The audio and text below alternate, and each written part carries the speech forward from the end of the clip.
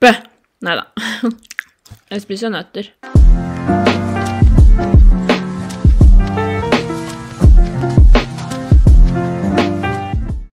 God morgen. Nå er klokka fem, og jeg og min kjæreste skal ut og kjøpe litt eh, julegaver. Hvilken dato er det i dag? 11. 10. eller 11. 11. Så det blir bra. Blir det bra? Ja. Ja, det blir bra. Så nå har vi skrevet en liten liste. Jeg har jo enda ikke funnet han der. Litt sånn dumt, men eh, ja, da kan jeg ta alene en dag. Så vi har spist pannekaker og suppe til frokost. Det var veldig hyggelig. Og det er lørdag i dag. Vi skal gå i Bogstadveien, så trenger ønskelykninger. Vi trenger både de bryene her også.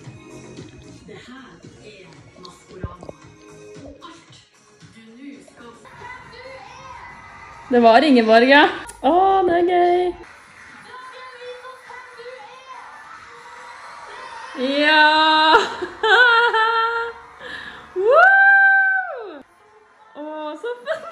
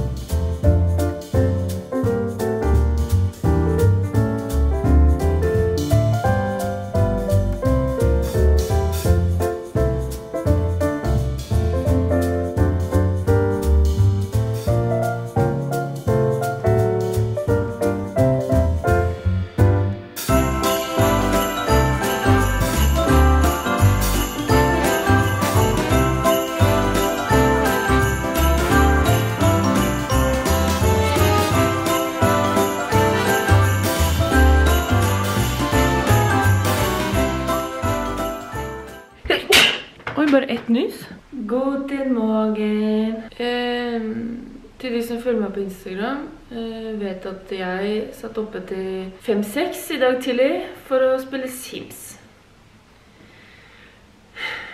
Er det når det har gått så langt man burde søke hjelp? Altså, jeg fikk ikke sove som vanlig, så jeg tenkte bare jeg skulle sitte og spille litt Sims til jeg ble trøtt. Men jeg ble jo ikke trøtt av Sims. Klokka er nå eh, sånn halv to eller et eller annet. Mm, nei, halv ett er den, tror jeg. Eh, Jeg våkna kvart på tolv, halv tolv, kvart på tolv ish, så jeg har faktisk ikke sovet så veldig lenge. I dag er det mandag, ny start på uka. Ja. Våkna opp til masse mail. Og det er det som er så drit med mandager. Det er alltid så masse å svare på. Å, bu! Jeg er så synd på deg! Men sånn er det. Når man lider av en uh, illness, så er det mye. Noen ganger. Men i dag eh, så skal jeg og Mathilde, Mathilde som jeg bor med, for de som ikke har fått det med seg, skal til eh, et vennepar av oss. Heter det det når to er kjærester? Vi skal til et vennepar. For det høres ut som det er et par med venner vi skal til, men de er jo et par med venner, men de er kjærester. Ja, vi skal i hvert fall eh, til jordmor, eh, som har vært med på kanalen, og dama hennes, pluss Tonje og Kine, er også et vennepar. Altså, det høres så feil ut. Er det vennepar, eller er det kjærestepar? Vi skal til et kjærestepar. Det høres bedre ut. Uansett da. Vi skal dit sammen med også ei til, så vi blir sånn seks-syv stykker. Og så skal vi bare ha litt julekos. Mathilde er på jobb nå. Vi skal ha pakkelek. Eh, hverken jeg eller Mathilde har kjøpt noe. Eh, så jeg tenkte at jeg skulle ut og kjøpe noe for meg og henne. Altså hver for oss. Var noe til 50 kroner eller noe. Men det er koselig. Det er koselig. Men jeg har ikke spist i dag, så jeg burde egentlig spise. Jeg har faktisk, tro det eller ei, slettet Slettet Fodora og Volt. Og det er fordi jeg skal slutte med takeaway. En ting er å gå til a sushi place Hello, I want to order some Makis. Men det å liksom bestille hjem Mac-eren og alt Nei. Det er slutt på det. Det er slutt, slutt, slutt. Jeg ble motivert av en gammel Luksusfellen-episode og tenkte nå er det på tide. Forresten, eh, i morgen så skal jeg og Mathilde pynte juletre. Vi skal kjøpe juletre, endelig! Markus blir ikke med, fordi han har ikke fri før på fredag, og da er det liksom bare 3-4 dager til vi drar på ferie, så det blir litt sent. Så for han så var det greit at jeg og Mathilde kjøpte juletre og fikk seg i morgen. Så jeg har vært på Klaas Olsson og kjøpt eh, julekuler. Og det er veldig billige julekuler, 99 kroner per sånn her. Det er ikke dårlig. Så tenker jeg gidder ikke gå all in for å kjøpe det mest fancy, for det er et kollektiv, ikke sant? Det er ikke noe vits. Det er ikke noe vits. Men det som er vits, vi skal også kjøpe gardiner, faktisk, til stua her, for vi har ingen gardiner, har aldri eid gardiner her. Jeg tenker at det er litt trist. Men før jeg går, åh, kanskje egentlig bare, for jeg tenkte jeg kunne kjøpt disse pakkekalendergavene bare på Nille. Så jeg lurer på, og Nille er liksom rett borti høyet her, så jeg lurer på om jeg bare skal stikke på Nille og kjøpe det, og så på vei hjem så kjøper jeg meg litt mat. Frokost. For jeg har et brød, men eh, det er noen, det er snart en uke gammelt. Så jeg vil ikke ha det. Kjæresten min har dratt eh, på jobb, eller han dro hjem til seg selv for å ha hjemmekontor, fordi han hadde glemt igjen jobb-PC-en sin, så han måtte hjem. Og så tenker jeg, glemte du egentlig jobb-PC-en din? Ville du bare dra vekk fra meg? Sikkert det. Men det går bra. Jeg liker å være alene, så for meg så spiller ikke denne rolle. Åh, han glemte igjen monsteren sin. Den er kjip. Ja, ja. Det var dumt. Uff da. Men er det noen flere her som er matlei? Fordi jeg er ordentlig matlei. Og forresten! Jeg må åpne Red Bull-kalenderen eh, før jeg går ut. Fordi i går så smakte jeg for første gang på den ene Red Bullen jeg hadde fått i kalenderen, som var med ferskensmak. Oh my god, den var så god! Jeg har enda ikke turt å smake på um, den her, hva var det, vannmelon tror jeg. Hvilken dato er det i dag? Åja, mobilen er på do fordi jeg er versta. Da liker jeg å se mobilen. 13. desember i dag vannmelon. Da får jeg håpe at den er god. Jeg har lyst til å... Jeg har ikke åpnet 12. Jeg åpnet ikke den i går. Yes! Ja, fersken! Men den er, den, er, den var veldig god faktisk. Jeg, jeg rater vanlig Red Bull 10 av 10. Fersken 8 av 10. Red Bull uten sukker 6 av 10. Og den gule, den er 7 av 10. Den også er veldig god. Den er litt for tropisk. Jeg skulle ønske den helte litt mer. Altså, den er sur, men jeg skulle ønske at den var litt, ikke så søt, men litt mer bare sur, fordi det er jeg veldig glad i.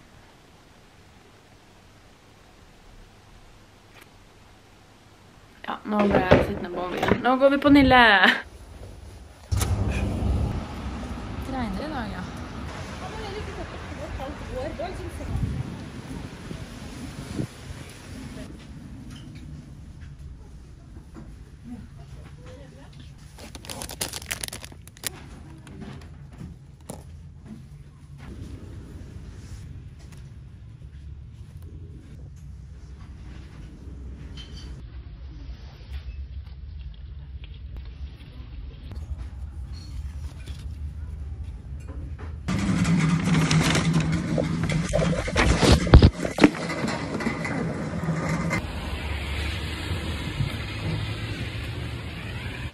Fått streng beskjed om at jeg ikke må ha håret dott, fordi det, knekker håret. Eh, og jeg kunne jo forutsett det egentlig. Det var det at jeg liker å ha håret dott.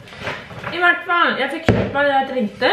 Kom ganske langt fram i køen til kassa på Meny, hvor jeg handlet mat også, eh, før jeg innså at jeg hadde glemt dopapir. Så jeg måtte tilbake for å ha dopapir, og da måtte jeg stå i køen igjen på nytt. Så det, mandagen starter bra. Så har jeg kjøpt meg dopapir. Mykt og godt. Toalettpapir, står det. Det verste som finnes er å tørke seg rumpa med sandpapir. Og så har jeg kjøpt uh, salat. 100 kroner for det lille dritet her.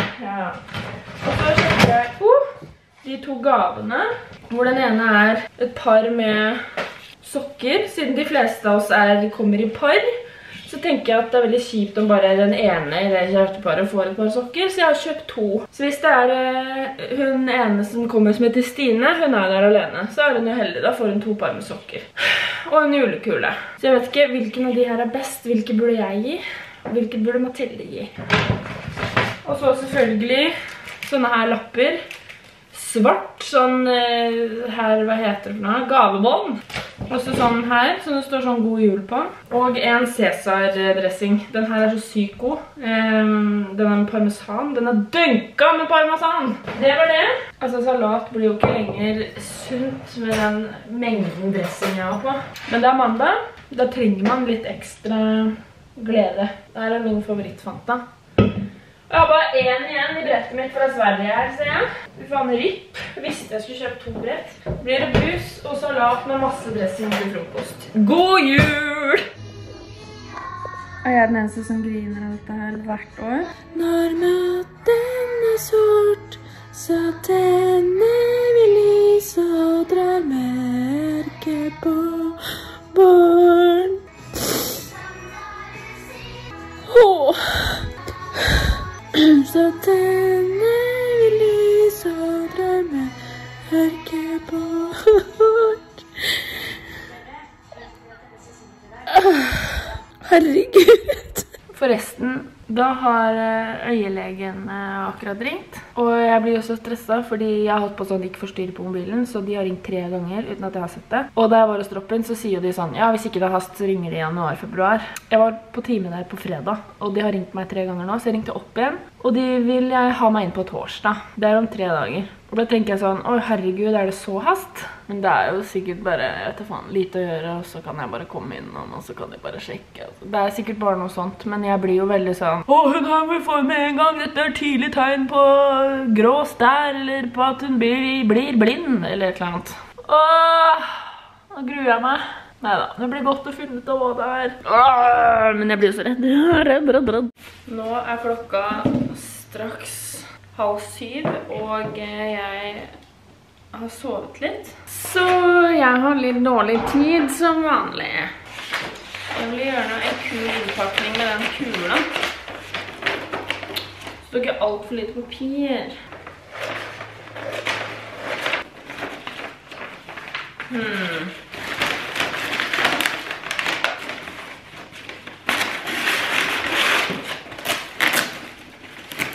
Den ble jo dritstygg. Ja, ja. Åh, kom igjen, jeg har bare én teipet igjen. Jeg hater teip så mye. Det får være, så får jeg kaste meg på bussen.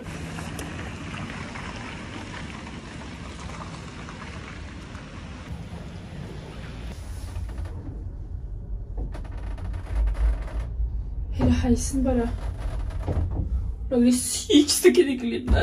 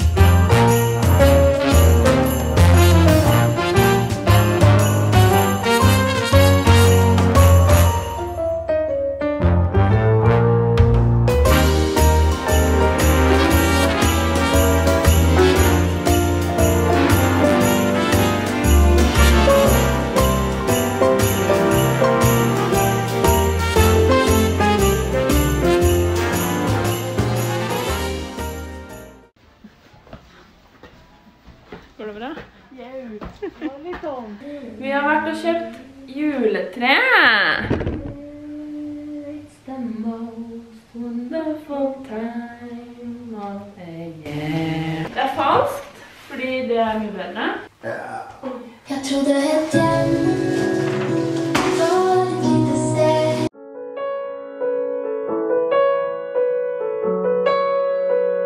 Det her skal dras ut sånn. Å gud, ja!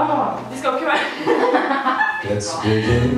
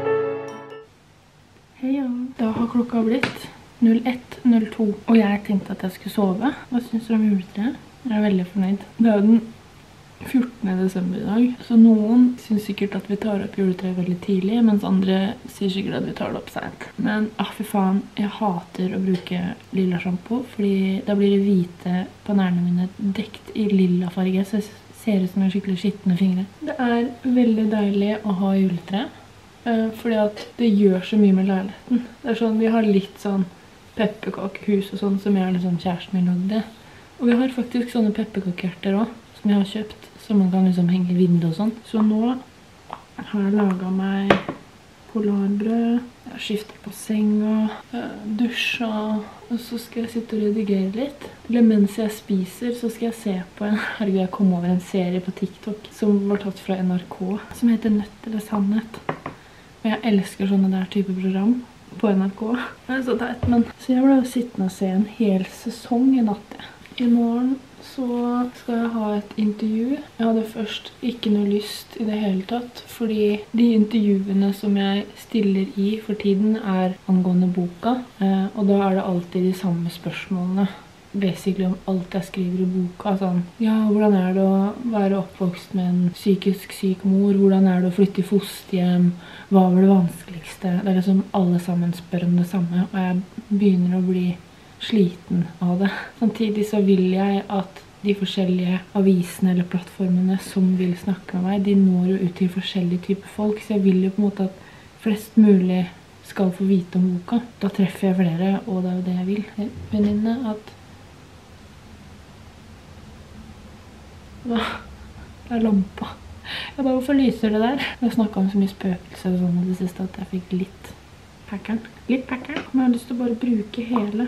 Det er så teit, så nå tok jeg enda mer. Det er bare fordi jeg vil ha så sunt hår. Det hjelper sikkert ikke å gjøre det, men jeg skulle ønske jeg vlogget litt mer i går, da jeg var på besøk. Men så er det noen folk som jeg ikke henger så veldig mye med, og da er jeg så redd for at de skal tenke sånn, åh, jævla YouTube-kjæring. Og så blir jeg så stresset, fordi at hver gang jeg tar opp kamera, så er det noen som gjør sånn, fordi de er så redd for at de skal bli filmet, og jeg vil ikke at de skal tenke sånn. Så det var jo sånn, når jeg kom dit, så spurte jeg hun ene som bor der sånn, hei, er det greit jeg bare filmer litt julepynt i huset deres? For det er ikke alle som syns at det er noe greit heller. At man filmer andres hjem og bare legger det ut. Jeg vet ikke helt hvorfor jeg tenker sånn. Nå skal jeg spise polarbrød og se på Nødt til sannhet. Og så skal jeg redigere i en times tid. Døgnrytmen min har vært helt snudd for tida. Jeg har lagt meg 5-6 tiden på morgenen. Jeg bare får ikke sove. Men vi snakkes i neste video. Snakkes.